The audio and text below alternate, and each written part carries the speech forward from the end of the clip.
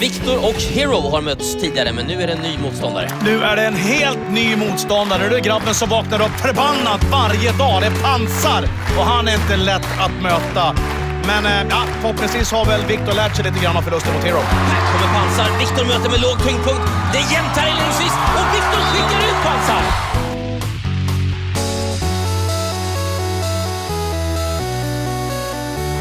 Imponerad också av Viktor så här snabbt i början. Stora kliv, långa armar, många poäng. Fast Prime hänger på honom fyra, fem gånger så orkar han springa hela tiden in. Viktor, han kanske ser mer snäll ut och lite mjuk ut med sin poplugg.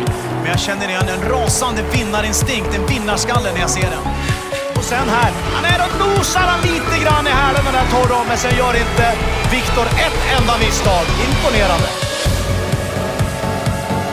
vinnarskalle. Ingenting verkar påverka Viktor överhuvudtaget. Spelar ingen roll om det kommer stress från sidan, bakifrån eller framifrån så kör han vidare i sitt tempo. Och det enda som skiljer han från mig är att han har sämre skäggväxt. Det är väl den och blir räddad av en klot som trycker tillbaka han igen på bron.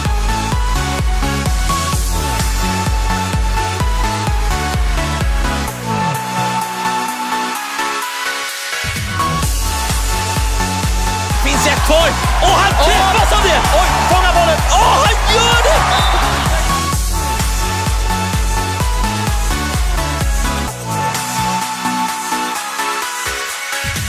Båda söker initiativ tidigt. Det är Viktor som kramar om baronen. Blir kastad här. Är han på väg över kanten kanske? Nej då. Han rullar tillbaka Niklas. Ja, de kramar varandra när de faller över kanten. Har tagit poäng i alla grenar ikväll.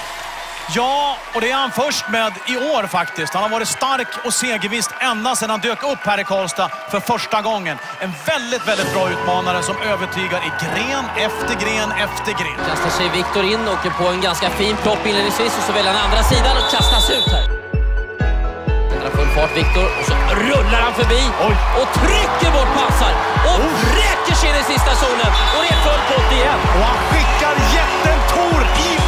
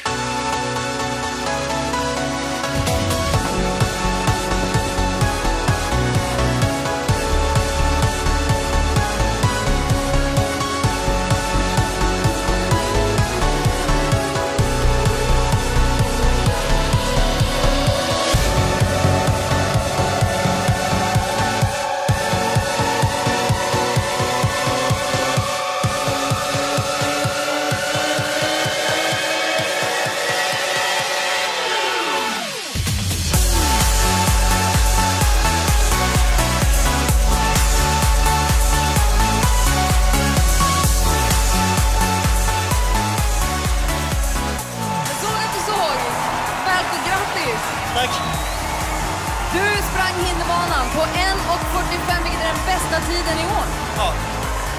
Går jag inte på final på det här, då... Ja. Det skulle vara för jävligt. Snabbaste tiden hittills i år, alltså 1.45. Snyggt! Tack så mycket.